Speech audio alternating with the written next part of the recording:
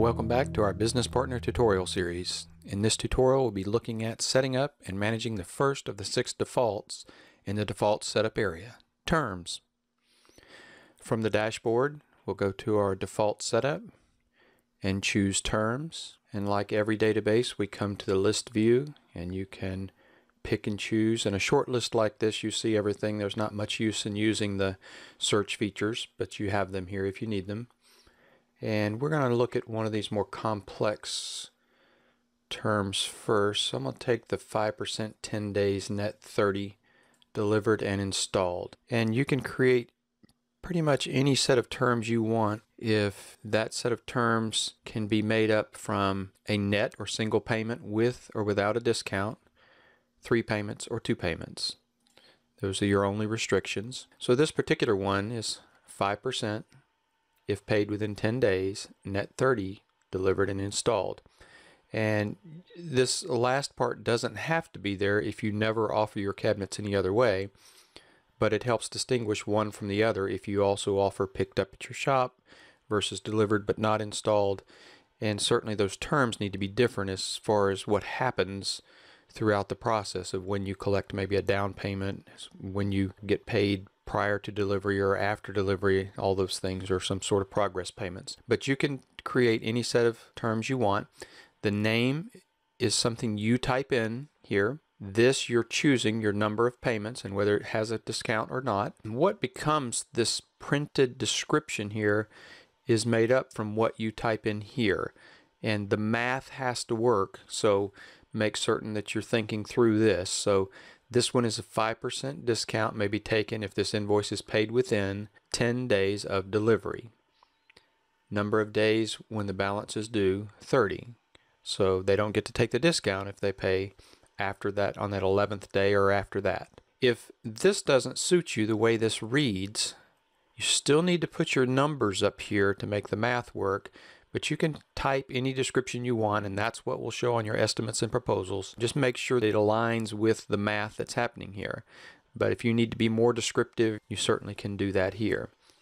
This list view here, this is a sublist view, would allow you to move from term to term to term to if you were going to edit some portion of them or a percentage or something like that. From here, you can go into your estimate or proposal conditions and these are the conditions you see on your estimate or proposal. So this is the short and sweet version of the estimate conditions. And as you can see here, the proposal conditions are much longer and more legalese. We would also recommend that you have an attorney in your state check this. This has been checked by three different attorneys in the state of Tennessee and uh, has proven to be effective, but you need to have it checked in your state because there are a lot of variations in states uh, as far as the legalities of what you are to provide in the form of an estimate or proposal. All right, this portion of the terms here, adjust total to compensate for discount amount. We need to talk about that a little. We spent a little time on the labor rates talking about markups and margins. And in that discussion, we had a, a, short discussion about reciprocal. And I want to talk about how this works and to allow you to decide whether you want to use this or not.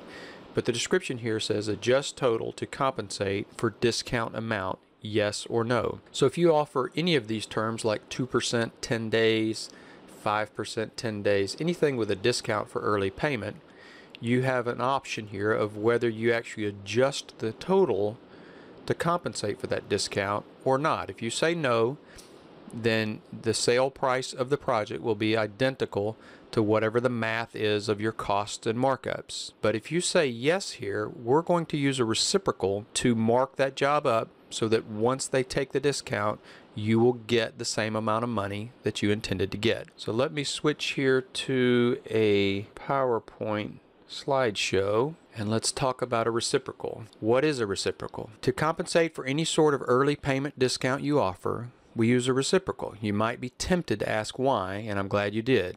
Keep in mind that this is only relevant if you check the Yes radio button next to the Adjust Total Compensation for Discount amount that we just looked at on the previous screen in the Terms page of the Business Partner. For our example job, we will use a sale price of $50,000 if you offer your clients a 5% 10, net 30 terms, that plays out something like this.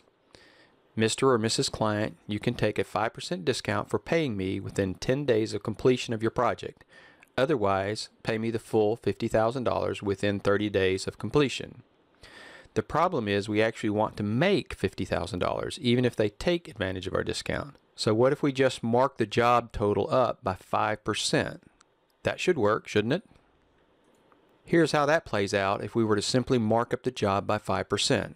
We take our $50,000, the amount we want to make, multiply that by 1.05 by itself and a 5% markup, that equals $52,500 or our new sale price or our marked up sales price. Now the client decides that your 5% discount is too good to pass up and decides to take advantage of it. Here's where we get in trouble, especially with even larger numbers than what we're showing here. Of course, this is a pretty big number, but uh, certainly many of the cabinet makers in America that I'm familiar with have done jobs up well over 100,000, 125, even some over 200,000. So the client takes their $52,500 bill and calculates the 5% discount, which comes out to be $2,625 and subtracts that from your invoice amount of 52500 leaving you a check for $49,875. Now that's not bad, but you wanted 50,000, which is $125 less than you wanted. So you shortchanged yourself $125 by using a markup here as opposed to using a reciprocal. And I can't imagine anyone offering anything larger than a 5% discount for something as simple as an early payment discount, but the larger that discount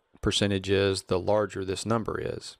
And we'll see that when we look at our markups. But what happens when we use a reciprocal, aka a multiplicative inverse instead? First, we need to find the reciprocal of 5%, which is simply 95%. 100 minus 5 equals 95. If we use this reciprocal, that looks something like this.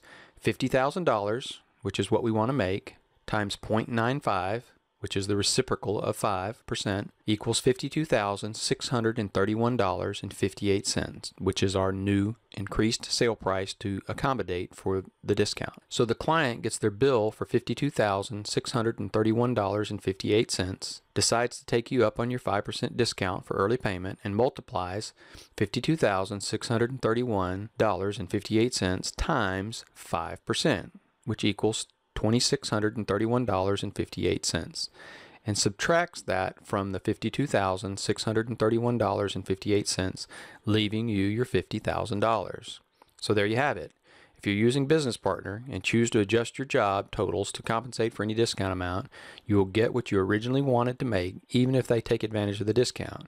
And you make just a little bit more if they don't take the discount, helping compensate for the use of your money for an extra 20 days, more or less. Sometimes they take a lot more than 20 days to pay you. So thanks for watching yet another business partner estimating software tutorial. Up next, setting up and managing markup defaults.